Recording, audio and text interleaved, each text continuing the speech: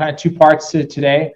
Uh, one is I want to start prepping you in terms of being able to uh, get ready for the pitch. Um, so at this stage, you know, last night you uh, interviewed problem sponsors, and uh, you know, some of you asked a few questions, some of you asked a lot of questions. Uh, if you don't feel like you got enough, you can still reach out to your problem sponsor. Um, and ideally, you're you're going to continue to do that because it should be more of like a relationship back and forth, uh, asking questions. Um, but I want to get you a sense of what the slide deck should look like based off of the information that you'll be having over the next couple days. So if I'm doing this slide, I'm just going to have a team intro slide. So my team name and just like a super short tagline, like three or four uh, words, super basic. Uh, the next one is going to be your problem slide. So this is me defining what the problem is. This could be two, two slides. So it could be here's what current contractors are doing for XYZ, you know, just for context. Uh, so if you don't feel like the average person would understand the problem to begin with, I would advise like setting up your problem slide with context, and then it would roll to problem slide number two, which would describe like, and this is why it's a problem. So, uh, for example, I listened to the uh, the the guy um, Altours Homes was explaining um, last night he was explaining okay when people when they have excavators on a property they dig up all this dirt and they have to move it and then eventually they have to move it back right? So that's kind of the status quo. I'd have a second so I, am establishing that and then my second slide would be here's why this is bad. Because every home all tourist Homes is sp- spending anywhere from three to, up to upwards of $10000 moving dirt back and forth. And they think it's the biggest variable cost on their on their uh, like per home and they're looking to reduce that cost. Does that make sense? So um, sometimes it needs context. If it doesn't need context, you can go straight into like, here's the here's the exact problem. We talked about last night as well. The best problems will actually have numbers. So notice I said like it's the biggest variable home, it's or big, biggest variable cost. It's three to ten thousand. Those are measurable. If you just say like you know oh it's really hard or they don't, really don't like it or, or it's kind of vague, uh, you're you're not really being specific. Okay, so then the next one is uh, you're introducing what your service or product is. So this is just like, so I immediately know what it is. So sometimes people jump straight to like, uh, and we're a service company and our benefits are XYZ. This is not quite the benefits section yet. This is just like what I actually do. So going back to the example of people moving back and forth, whatever my initial solution is, whether it's a software, whether it's a training, whether it's whatever, I would say, you know, here is what my service does and then your next slide is here's how my service or product or whatever it is actually solves the problem. So it's kind of a bridge. So I will use like a crude example. So uh, I personally am a little uh, little on the heavy side. So I could say, uh, you know, I'm looking to lose weight. Uh, so that'd be the problem, right? Like I'm lose I'm looking to lose 15 pounds. My solution is a pill. My pill helps people lose 15 pounds or more right? So you're just kind of doing this bridge so I know what you are and, and how it solves the problem. So that's all from tonight. That's all. Uh, you should start getting your in your mindset that you should be able to have that. Um, I'll drop in the link tonight before I leave. Um, you guys are welcome to schedule one-on-ones. It'll be usually we do like quick 15-minute sessions. We can do pitch practice. We can I can just be more of like a sounding board if you have questions or ideas or struggles with this competition. Um, but definitely like the best teams are the ones that have like dialed in pitches because they actually did something and got like actual data and started making progress. Before moving on, any questions regarding these initial three slides plus a title slide? Any, any, anything I can help clarify on? My last tip on this is do not clog this with words. Uh, the, on the problem slide, that literally could be a full page picture. So if you guys are the ones that are talking about like you know 90% of the trash could be recyclable but they're just dumping it in a bin then literally you could just show me what one of those bins look like full of trash. You don't need to like clutter it with a lot of words.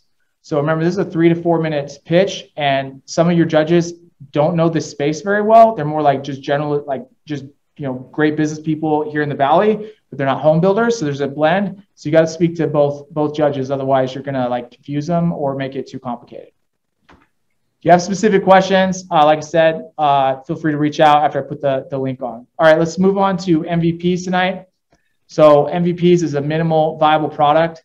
This is essentially the end goal. So if, if we're talking about like kind of what what you should be shooting for for this competition. it, it is to launch like a first version of MVP. So uh, to go over that, it's super minimum. Uh, it's viable, meaning like it's actually something you can you can give to someone, uh, and then it's a, either a product or service that you're testing. So it's like on the smallest scale of testing your idea. So here's the concept behind MVPs and where uh, almost all entrepreneurs, even if they're trying to build an MVP, gets it wrong. So most people, like all of us that are entrepreneurs, always dream of like the car, right? Like we want, like that's our baby, that's our dream vision. So maybe you're talking to these home builders and you have this amazing idea of like this potential product or service, or like I know one of the problems was uh, you know, a, a, new way to frame or have hybrid, hy- you know, a hybrid wood product. Let's be real, you're not going to crank that out in a week. So what you've got to do is say like, okay, the end goal of like a hybrid wood product is is my car, but to test it, I'm going to build something super super small. It might be crude, but it's going to test it. And this is how you do it. So if on this bottom charts how, how true MVPs are done, all we're asking for for this competition is you're building a freaking scooter. That's all meaning like you're going to have a small improvement on the status quo to prove the concept so that if the if the judges like it or the or more importantly our industry partners like it then they'll double down and they'll be like hey keep building it because we we like this. It's improving what what's going on. So for example uh, the problem statement about legacy knowledge right? Like there's tribal knowledge and it's hard to pass on and there's all these young folks that like to do videos blah blah blah. Um, I'm not asking you to solve that entire problem. I'm saying have an idea that might solve the problem, but like actually produce something within a week that they could test to say, did this help pass tribal knowledge better than what we're currently doing? That's all we're looking for. Okay, so uh, let's explore a couple examples. So we have like really high level examples of MVPs. Um, so Zappos, right? So uh, Zappos is kind of like the Amazon for shoes. They are super famous in terms of an MVP. So think of think so take a second. If you were going to this is back in like 1995, right? So like barely internet's coming uh, coming around. It's kind of pre huge Amazon. You want to build essentially the Amazon of shoes. Think like how much money would I need to launch Zappos day one? How much time would I need? How many like would I need a warehouse? Would I need two warehouses? Think of how many shoe pair of shoes you would need so that you could like say day one, okay, I'm launching. All right. So for all of you that thought, well, I'm going to need to have a warehouse with at least a thousand pair of shoes and da da da da da, you're like here. Okay. This is you're way too far down the track. You what that means is you've spent way too much time and money into a concept that's unproven. And so uh, Zappos got that concept, and and all he did, the founder, he went down and took his cell phone and took pictures of shoes in these local local New York boutiques and put those pictures online. And if someone bought it, guess what he did? He hauled his ass down to the, the store and just bought the shoes and, and then shipped them off. That's an MVP. That was the start of that was the start of Zappos, which turned out to be like a billion dollar shoe company. So all but but the concept, while it's clunky, while it's super manual, while that part part is not scalable, that is not the point. You're not trying to test scalability. You're just trying to test did I improve the status quo? So he had this theory that people would be interested in buying shoes online versus especially people that didn't have access to all these cool boutiques in New York. And so his test was, okay, I'm going to put up online. Who cares how he got it done? Just the fact was he got it done and improved the status quo. Okay, another example, uh, an MVP to gauge interest. So we had a venture college student uh, that that wanted to do service trips to Belize. So her idea was to bring all these students down instead of like hitting the beach the whole time. They're actually going to build schools and do all this like good quality stuff, right?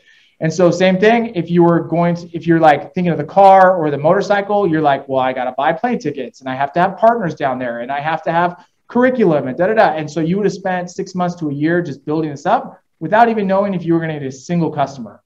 So all she did was the reverse and she went to two schools. I think it was Bishop Kelly and another one. Floated the idea to parents. Uh, they kind of gave her like a talking platform. She handed out flyers. She spent 20 bucks at Kinko's to do, do flyers. And all of a sudden, she had like 20 deposits from parents. She had nothing except for a flyer. That was the MVP to gauge interest. She knew based on that, that that there was enough interest to proceed. And that's a great problem to have as an entrepreneur is like, holy crap, they actually do like this stuff let's hit the gas and let me let me hurry up and get this into production. So we did something similar on our end. Like I'll be honest, MVPs are really tough. Um, uh, just because like you always feel like you have to over overbuild it. So I finally did, uh, this was like the one I finally felt like we got right. So I have my own software company. Uh, we help businesses respond. I've, initially, it was just respond reviews, but now it goes everything from social media to customer care tickets, all that stuff. Anyways, uh, so this is early at the early at the stage. We were just showing reviews, and we got the feedback. No, we want to be able to respond to reviews. So we had customers said, "I want to be able to hit reply," but we didn't know if there was enough to make it worth it. Normally, big picture, I'd have to build APIs, I'd have to build all these automated scrapers. Like it was going to be a six to 12 month dev process for my customers to be able to hit reply on my software and then be able to post that publicly. Okay. So my MVP was okay, here's what's going to happen. I'm going to put a reply button on the software. When they hit reply and they type their message and they hit send, instead of us trying to automatically post it, it's going to send that email to our customer care team and our customer care team is quickly going to go out and post and manually type that review, copy paste it, and then post it manually on Google or TripAdvisor or whatever. Super ghetto, super manual process. But what happened within two weeks, I had enough data that says, oh, yeah, this is like one of our biggest features and tools. Now we can put the dev work into it. So, same thing, you're just looking for like manual, quick ways to see are people going to use it? Do people like it? And so, the quicker you can get that out, the better, especially in this competition like the teams that are going to win, my guess, my assumption, are the ones that actually have something that they can deliver to their partners by Monday. Meaning, like you can have a couple days worth of testing to say, here, we, we came up with something. Either give us your feedback, but best case, here we came up with something. We want your users to use it for like two or three days and then give us feedback. Okay, so uh, yeah, think think real quick on what would be your MVP so I like using like just lots of different examples just so you can kind of get the concept of it. So uh, we got, let's say uh, I want to do this high scale restaurant, right? This is my this is my end goal. I want this little you know classy restaurant. What would be my MVP? You know, and some people think, well, well, we'll just get instead of a thousand square feet, we'll get 200 square feet. That's still too much. Too much risk. Too much money without being unproven. The best way to do it do some like little ghetto shack or some easy way that you can sell your food on the street without being location specific. That's exactly what uh, J Dawgs did. So they were in Provo, and J Dawgs had this like just little little shack that they built, and he had these like amazing hot dogs that had really really long lines. And eventually, J Dawgs turned into a formal franchise uh, down in Utah where they have really awesome locations. But it all started with just a shack, which was low, really quick to spin up and low risk. Okay, so same thing on this example. So if I was uh, if I was interested in helping farmers have better analytics, you know, for their crops so they can grow faster. There's a lot of companies in the space now, and a lot of them are using drone technology or satellite technology to take photos of the of the crops, and uh, then from there, you know, plug it into your algorithms and create this really cool looking dashboard. Okay. So take a second. If you were that company, you wanted to launch this to like today, uh, we want to be, uh, and let's say you're going to pick a drone. What would be your MVP? What would be the first thing that you could build to test? Like, is there interest and are we moving the needle? Okay, so the right answer, the, a good answer, I won't say the right answer, a right answer would be you would mock out what a dashboard would look like. No code. You literally would just use a, a tool like Figma or freaking Paint on, on the computer, and you would just sketch out what data you would present to farmers. And you'd want validation of if I gave you this data, does this improve the status quo? What would you do with this data? How would you use it? So if I got validation on there, then I can move forward. So for some of you, this might be your MVP coming out of here is a sketch of what the dashboard would look like. It doesn't have to be a full functioning dashboard, doesn't need to be, because what if the what if the farmer comes back and says, actually, I don't need X, Y, and Z charts, and this is really confusing, but I do like this.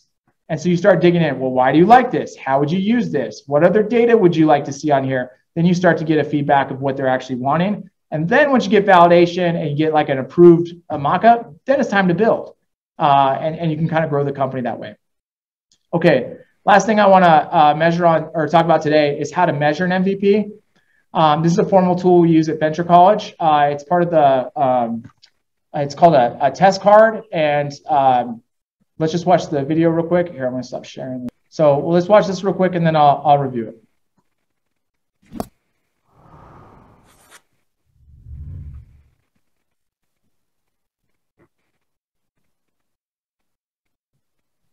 So let's discover the test card together. This is a tool that allows you to describe how you're going to test a hypothesis. So let's look at example together. Let's give this test a course. We're going to call it Pricing the Value Proposition Design course, and we're going to assign it to Natasha, who basically does the testing and the data at our company. But let's move to the first block here, the hypothesis. Here you describe one thing that has to be true for your idea to work. And you're going to select one hypothesis among the many that you have to test your ideas. So let's fill this out for our example. Let's take, take a, a specific case here.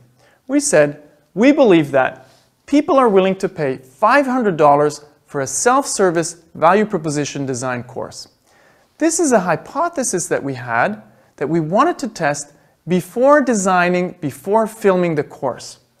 And here we have one more thing. We describe if this is a critical test or not. In this case, before we actually tested the pricing, we of course tested if people even wanted the course. Now let's move to the next block here, the test itself. So we're going to describe here what we're going to verify, what we're going to test. In our case, we said, to verify that, we will simulate the sales of the online course on our website. That was a test we're going to perform. And here we have to describe, of course, how much this test costs. Let's circle that in our case. And we have to describe how reliable the data is. Let's circle that for this case. If you talk to people, it's kind of a test, but the data is not really reliable because you know that people don't always do what they say.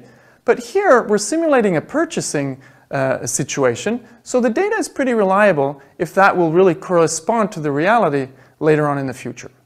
Okay, now let's move to the next thing here. What are we going to measure? So in our case, we said we're going to measure how many of the visitors who come to the website will actually convert. So that was the, the particular measure that we looked at to validate or invalidate our hypothesis. And now let's move to the last thing here that you also want to define in your test, the threshold. If your hypothesis was true or false. In our case, we said, we are right if, with our hypothesis, if the conversion rate of this course is at least as good, at least as big, at least as high as the conversion rate that we had for our last course that sold at $500, the business model generation course. So here we have it, a great tool to structure your testing, to structure your experiments, to figure out if your beliefs, the things that have to be true for your idea to work, actually are true in reality. Okay, great. Um, few concepts here. One, uh, at Venture College, we teach that you can use this concept to validate whether something's a problem or not. Um, because uh, you can use the same test to see like, okay, is this a legit problem? You you guys can short step this. That's what's good. That's what's good. You're actually just testing whether your solution actually solves the problem. Like that's that's what you're like. We believe that essentially like you're pre-filling here and saying like whatever your MVP is, like we believe this minimal little thing that we're going to produce in a week is going to help xyz and so that's where you say to verify that and ideally like you know on the on the low end you're going to say to verify that we're to we're going to get feedback from our stakeholder right like that's on the lowest end on the highest end it's like to verify this we're going to pass pass our product over on monday and you know xyz company is going to use it here's where you stay accountable and to measure so this is how are you going to measure success? So if I if I give a company a tool to use, how do I measure success? So let's just go back to the dirt example. So if I had a, you know, I believe my XYZ service is going to help them save money on dirt removal. To verify that, I'm going to give them the tool on Monday and let them test for three days. And I'm going to measure how much money they saved moving dirt, right? So if your problem is pain, then you should be probably met, or excuse me, if your problem is like hours, uh, then you need to measure how many hours you saved. If it's money, then you need to me- measure how much money you saved. If it's, uh, you know, the, for the legacy knowledge, if it's somehow like you got to figure out how to measure, like, did you actually, did they actually retain the knowledge or not? And if we are right, so here's the kicker is like, if you're right, then, you know, X amount. So if I'm right, so I'm going to measure how much we saved. And if we're right, we're, we're going to save them 30% in hours. We're going to save them 20% in costs. We're going to uh, increase their knowledge retention by 25%. This is what we want to hear. The winning teams, once again, will have this data because once you get me get through the problem, so the, the way this flow is going to work, we talked about. Hi, my name is Ryan. Here's the you know here's the background and problem. Here's our solution. Here's how our solution is gonna solve. You know how here's how our solution solves a problem. And we went ahead and tested this. So tomorrow we'll go over how this MVP would look in the slide deck. But essentially, you're going to say, and here's what we did. This this was our first MVP product, and we put it out there. And this is what we measured, and this is what happened. So essentially, just return a report on the, like what actually what actually happened.